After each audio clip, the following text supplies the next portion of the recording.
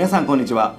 ジバンシーメイクアップアーティストのサ田と西武渋谷店ビューティーカウンセラーの岡部です。今回はスターアイテムのプリズムリーブルとルージュジバンシーが限定パッケージで登場したルナニューイヤーエディション2022をメイクハウトゥーとともにご紹介いたします。取り入れやすい赤リップのテクニックもお見逃しなくぜひ最後までご覧ください。ベースメイクはランタンポレルブロッサムクリームコンパクトとプリズムリーブルスキンケアリンググローを使用しました。仕上げにプリズムリーブルをつけていきます。より自然に仕上げたい場合はパフにジバンシーマークがつくように出していただき蓋の内側でなじませてからお肌へつけていただくと自然に仕上がります。アイメイクはル・ヌフ・ジバンシーナンバー5を使用していきます。選び抜かれた4つの質感の9色を自由にブレンドしたり組み合わせるだけでなりたいイメージの仕上がりが手に入るクチュールアイシャドウです。今回は4色を使用してメイクしていきます。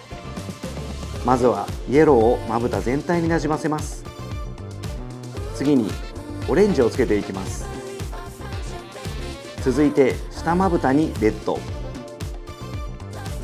目頭と眉下に偏光パールで仕上げていきます。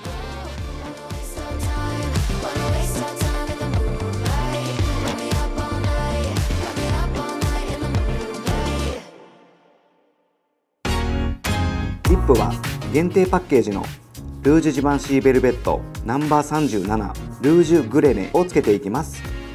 赤リップはハードルが高いと思っている方も多いかもしれませんが本日は簡単になじませるテクニックをご紹介いたします。赤リップを直接唇に当てて軽く叩くように塗ります。アウトラインはあえてぼかす感じにします。そして塗り終わったら唇の上下をなじませてください。ポイントとしては上唇の山の部分と下唇の気持ち内側につけ丸くならないようにしていただくと綺麗に仕上がります。ブラシを使用して色を重ねると華やかに仕上がります。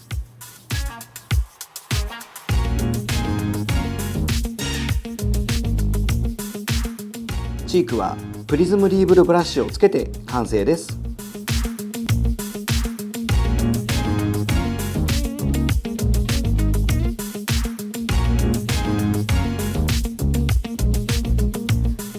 いかがでしたでしょうか？